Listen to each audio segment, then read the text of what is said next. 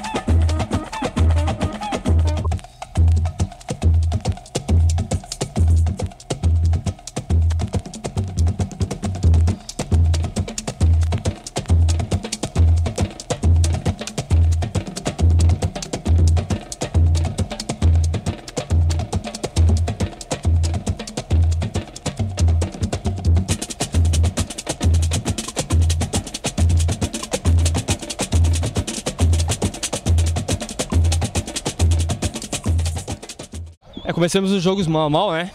Tomemos um gol logo ali. Erro de marcação, dois jogadores, um jogador só e a gente acabou errando.